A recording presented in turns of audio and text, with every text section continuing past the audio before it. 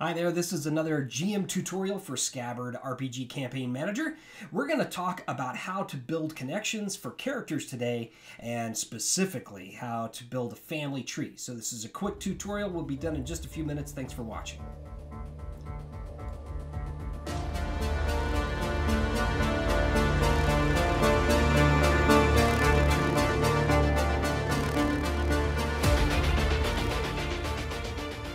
Okay, like I said at the beginning of the video, this is a quick tutorial on how to create connections and build a family tree inside Scabard RPG Campaign Manager. Let's take a look. I have got a character here for our sample campaign, The War of the Mountain Gods, the Lord Rom Turnbull III, who I will, whenever I play him, will talk a lot like this. Rom Turnbull has to have a mother and a father if I'm going to build a family tree. So the first thing I did, I do want to show you this new feature in Scabard RPG Campaign Manager, and it is called Alias. Why do we use aliases? If you go into Edit right here, click on the edit there at the top, you'll see I added two aliases. Why? Well, because every time I want to auto link to this character, I want the system to run through all my text and find Rom, Rom, Turnbull. Anytime I write those, I, I, want it to know that I'm referring to this character. So now it's going to know that. All I did was I put in the name, I put a comma, and I you can put as many alias aliases as you want in there, and that will help you to find this character in the auto linking feature. All right. The next thing we want to do is we want to add some connections to build a family tree. All right, I made this fairly straightforward. Uh, we want to go under Father, right here. And this is going to be the Lord, and you'll see this come up. I've already created a character in here called Lord Rom Turnbull the Second Jr.